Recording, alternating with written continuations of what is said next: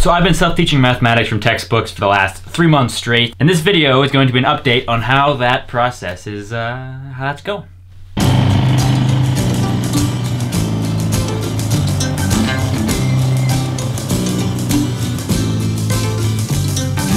We are the Village Green Preservation Society.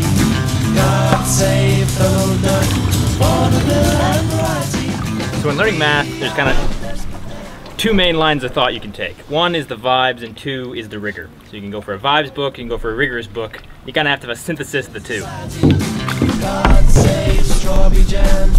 So it's always best to have a good vibesy book on the go while you're having some rigorous textbook as well. So I usually, if I get stuck on a rigorous textbook, I fall back to the vibesy textbook. And the vibesy textbook can be like a history or a autobiography or something of that sort. But you want something that's not too tough to get through and is kind of story-like, so you can pick it up quite easily. Because once you get into the dense math, they kind of assume, just like when you read a story, you can kind of already understand the story because you're a human. Um, when you're reading a math textbook, it's kind of like they're telling the story to a mathematician already. So if you're not already a mathematician, it's quite hard to pick up. But you're a story reader, so you can pick up the story, and then that actually allows you to again get better at the reading of the rigorous textbook because you're kind of getting indoctrinated into the cult of learning mathematics from a math textbooks. So if you ever get stuck on a math textbook, make sure you have a vibesy math book as well on the go go from rigor, then if you get stuck, back up, go to your history book or whatever about math, and then you can usually make progress that way. So how that applies to my life right now, I'm reading a few textbooks on the go as well as a few uh, Vibesy books, but I'm reading, reading Mathematics, The Loss of Certainty by Morris Kline. Highly recommend it. Only if you have a little bit of mathematical experience. I started it before I had gone into second year university, and so I had, you know, first and second course calculus, but I didn't have like the, the, the, the deeper math skills, so it kind of lost me a little bit. But now that I'm returning to it, now that I have more mathematics knowledge, it's a nice book. I'd say once you're a couple thousand hours into reading math, then you can kind of it's a good book for me at least but maybe you're you're quick to the punch. And then for mathematics textbooks i'm reading forall x by open logic project and i cannot recommend this book enough. It's a 10 out of 10 textbook. It takes you basically complete vibes and it tells it to you like you're a human not like you're a robot and i cannot stress this enough. Best book ever. I read i started with uh, enderton's i shall tell you a story in a second. But it's a little tippy. All kind of sketched out. It's my fall so in diving into mathematics, there's kind of three angles that you can take in a modern day. There's analysis, which is calculus, differential equations, and everything studying continuity. So it's continuous stuff. You're analyzing, you're analyzing movement kind of, like a, a flowy stuff. Then you have algebra, that's the study of discrete structures.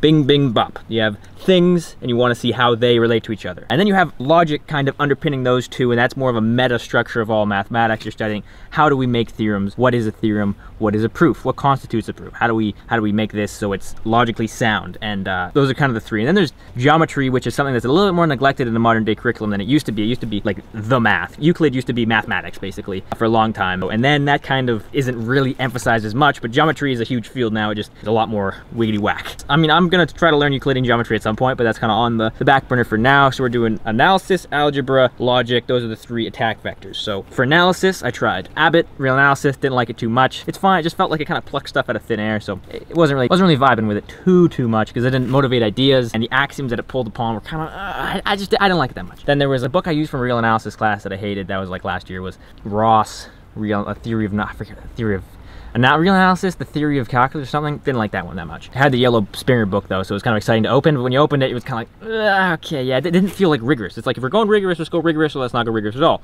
Which led me to Terence Tao, real analysis, which is very rigorous, but I didn't have the mathematical sauce requisite enough to really get through it, because he starts just with sets, and he starts defining numbers as like sets of sets and stuff, and it's just really, really heavy. So that was a bit tough to parse through, to be honest. And then now, finally, I've arrived at a book called uh, How We Got From There to Here. I was searching around online to find this book. Uh, this analysis book, How We Got From There to Here, Story of Real analysis, I think is what it's called.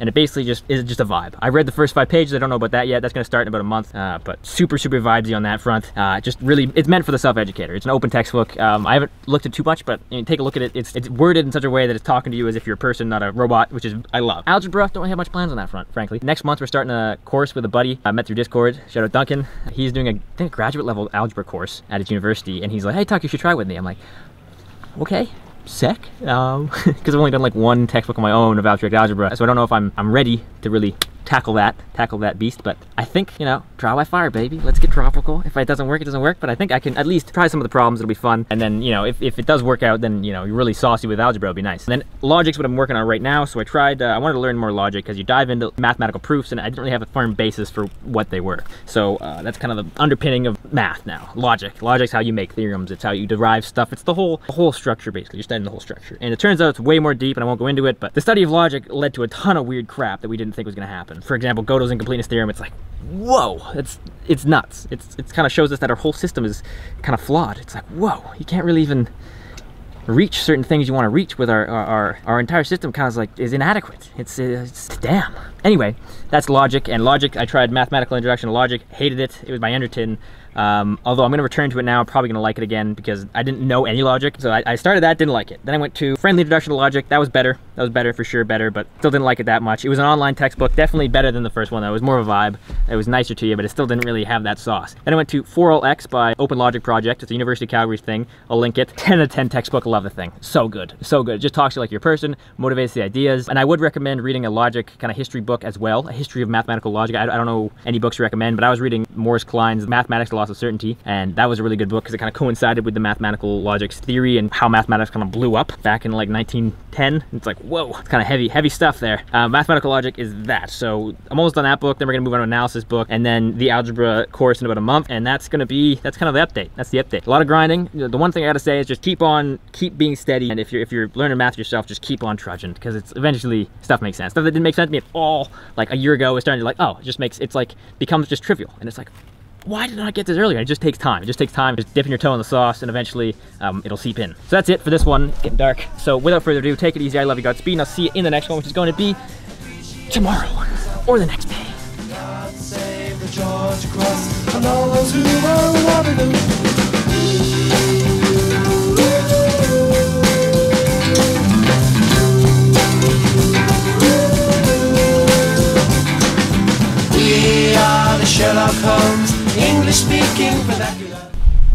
We